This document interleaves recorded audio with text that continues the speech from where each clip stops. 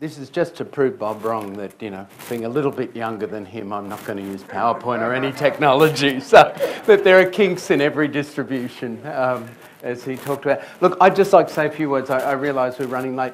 On, on the first um, couple of presentations, first, I, having worked in ECA in all of the 90s and the early 2000s and then switched to East Asia, it was I felt like, you know, it, it, was all these reminiscences coming back, listening to the Polish and then the Chinese experience. It's really nights of drinking vodka versus nights of drinking baijiu. I can divide my life into those two periods, I think. But uh, what, one thing was very striking, I think, uh, from the ECA experience, and it's not just Poland or Central Europe, it, it applies throughout the so former Soviet Union, the Balkans, and other parts. There are so many lessons there for our countries who are now trying to expand coverage. Um, and I think a lot of the time in the pension dialogue here, we focus either on the existing system and its parametric reforms or on coverage expansion. They tend to be awesome. I can't even use the one piece of technology correctly. Um, or one or the other. And, and I think one of the things I take away from the ECA lessons in this and then some of John's stuff is that you can't have those discussions independently of one another. So John's points on the urban withdrawal from labour force in, in you know, our countries in Eastern Asia that have pension systems, formal pension systems, often with low coverage, 20, 30%, um, is very striking. And, and it's for very similar reasons that, that the ECA countries had. Um, you know, early retirement ages, earlier in fact than ECAs are now early, uh, sorry, not early official retirement ages, which are earlier than ECA's. Um, most of ECA has moved to 65 or beyond, or is moving there in some shape or form. Most of East Asia is still stuck at 60 or thereabouts, and you know the higher end is trying to move in different ways. But there's been far too little movement, certainly in the middle income group, on, on that kind of thing. Early retirement provisions are even more severely out of whack in a number of our countries than they were in ECA. So in Vietnam, for example, the decrement for a year of early retirement is 1%. It should be about 5 or 6%. So really dramatic parametric problems in, in some of these systems. Vietnam's probably an extreme case. Um, at the same time, we're having the coverage expansion discussion. They tend to separate into a kind of social pension and a contributory pension discussion. But I think the, the ECA experience is one that as you formalise more, as you urbanise more, combining the lessons of those two, I, I, I think is, is really important. Um, and I, I, would take away from that. Um, the other thing that I think was very striking about John's presentation, again relates to the experience of ECA, was, was the male and female divides. The joint retirement decision that John was talking about and showing in the data. And it, it kind of makes sense, you know, assuming we have some vague regard for our spouse at the time of their retirement or our retirement, we probably want to, or hopefully want to spend more time together. Uh, but again, East Asian pension systems still, in a number of countries, have this five or even in urban China, 10 year gap if you're a blue collar woman and a, and a, and a man. Um, so that, I, again, I took away from the ECA experience. ECA started with that kind of five year gap typically, but has increasingly tried to bring them together. Countries in East Asia have done the same thing. Uh, Korea and other countries, I think, already have same male and female retirement age or are, are moving there. Uh, but certainly in the middle income, it's still a significant issue that, that needs to be dealt with, and for which there's very little sympathy amongst policymakers. You get long stories of how the women of Vietnam or the women of China have suffered, and the you know, you wonder, have, did the men ever? But uh, it, it's, it's, you know, it may well be true, but it, it's difficult to deal with.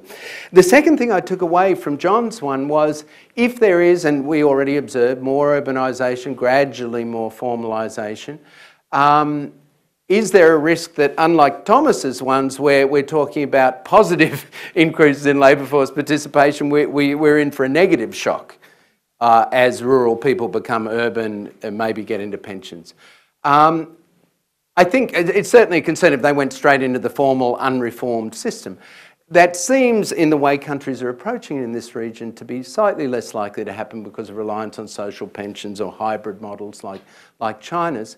Um, but nonetheless, it, it, speaks to the importance of set levels of pensions for this coverage expansion. I think the, the China one is encouraging. That, that pension is really very low, nine or ten dollars a month. but it speaks to the importance of not assuming your original parameters from the original system as, as you go for expansion. The final thing I'd say, which links to the training side of things, and I, would be interested in kind of discussions with people. Um, it's in the policymakers we interact with in the region, we, you know, the developing Asia, there's a very strong lump of labour fallacy um, uh, perception still. So when we talk about raising retirement age, the very first thing that comes in is, oh, all these cultural revolution workers, they're useless anyway. If we keep them in the labour force, we deny young people jobs. And you hear that argument, I've heard it certainly in, in developing country after developing country in Asia. Um, now, economists, I think we're, we're, on the flip side too simplistic and just wave the lump of labour fallacy at them and say, you know, read the book or, or whatever. Um, I think some of Bob's stuff really begins to nuance. well, firstly, it, it, it, makes it more pronounced at one level, but I think it brings in a whole degree of nuance that we probably need to talk about when we're talking about pensions, skills, and, and, and those kind of things. Um, on the skills side of things, I, I think uh, Bob's thing is, is, is very striking. And I'm sure as he develops it will, will be even more so. As he said, for this region, it's not just computerization, it's you know, shift from state to market, all kinds of structural change that, that you know, are, are perhaps even bigger than computerization in certain senses. Um, again, I think when we talked in ECA in the 90s or early 2000s, it tended to divide to an ideological discussion between those who favoured active labour programs and those who didn't. And there wasn't a lot of, uh, you know, it was easy to find evidence for unproductive active labour programs, but it was always done in big averages. And we talked about, you know, all groups, all active labour programs. And I think uh, Bob's point you know, is very clear that both within the market and within interventions in the market, one has to you know, disaggregate this a lot more than, than we've done in those um, discussions in the past. Um, certainly, the, I mean, such evidence as we had, as, as was mentioned in Poland, is not hugely encouraging for those over 45. But I think one of the things we'll need to do in this kind of work and literature is also link up what are the objectives of this training, retooling, whatever, however one characterises it. There's, we, as economists, we always look at the output, you know, the kind of production function of training, how much more output we get from a worker after how much training. I think with all the literature on cognition, delayed cognitive decline, and that kind of thing from social, the social engagement aspect of work, the social inclusion and other aspects of work, well, it'll be interesting over time to link up those literatures and get better kind of whole of economy measures of you know, some, of the, some of the positive things of people staying in work longer, even if the direct productive effect at time when you retrain them over certain ages is not so great. Um, the other thing I would say is in this region already we have a lot of experimentation happening and certainly Japan and Korea and I, am not as familiar, Angelique, with Singapore, but I, I, think Singapore as well I would put in that category, have tried to work on this a hell of a lot and they've been innovating furiously, perhaps almost too furiously at times. Um, but they've done it in several ways. One is to intervene on the price side. So in, in Japan you know, and Korea, they've tried structurally to bend the wage curve, if you like. So in Korea, you have the peak wage system. They're trying to spread that, you know, beyond 55 or so, there's a mechanism for adjusting wages downwards. Japan, similarly, beyond 60 with their, their recent reforms, um, you know, is doing that. And you observe wages of a Japanese person at after official retirement. Singapore, I know, is experimenting with various ways of setting performance-related pay that breaks it up into various components that one can deal with. So there's the price side interventions. Um, the second is that all of them have multiple skill and training subsidies that they've been trying. Um, the big thing there is they're very not very well evaluated, I think, is probably the case. Korea is an interesting case, I think, where there, there was evaluation of some of the wage or training subsidies and, and they were found to be kind of a lot of dead weight losses and they've been trying to adjust and refine the program. Uh, but again, I think the lesson from that is it's not necessarily training or wage subsidies or whatever the intervention is for all workers over a certain age, that targeting in some shape or form um, not necessarily by income level, but by, by different characteristics is probably valuable. Um, and then the workplace adjustments, I, th I, think, was mentioned, and I think the, the Europeans are, you know, and, and the Asian companies are ahead on that. Thank you. Thank you. So, any questions? Uh, some, some of you raise your hand. Oh, sorry. Good. Going back to you. So my question would be like it's basically a relative example. So the question is open to anyone who wants to answer.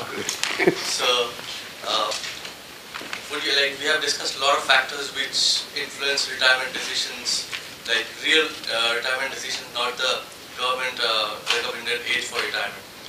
So we have seen like uh, in some of the surveys I've read, like countries who are actually growing a lot faster than the others. For example, if Japan is growing at a relatively slower rate, people tend to uh, extend their retirement age and they tend to work a lot longer compared to China, who's been growing really fast. And there have been surveys which have uh, like uh, results have come out that people want to retire at the age of uh, 55, 58.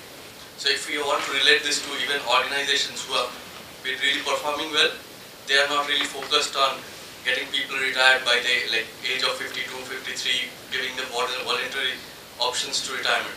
So would we, can, can we really relate the economic performance of a uh, country or an organization to sentiments which drive decisions towards retirement? Anyone to?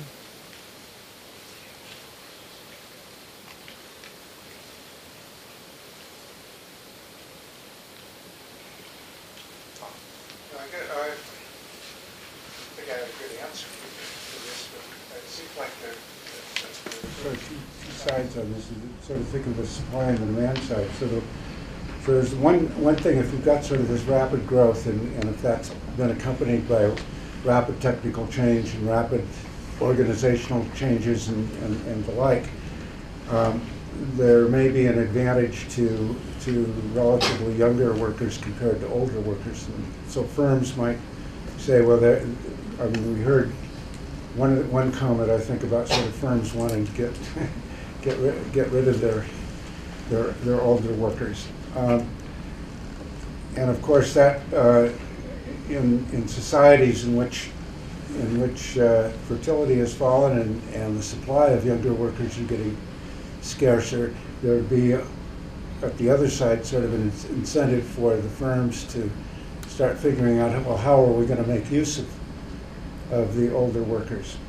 Uh, because, because it's hard to get younger workers. Uh, That's not yet been the case, and we still have this uh, demographic uh, uh, um, uh, window where, where the growth of working age people is, is, is still high, but eventually that'll change. I think there's another thing in, in a number of the countries that have had rapid growth have also had rapid growth of education.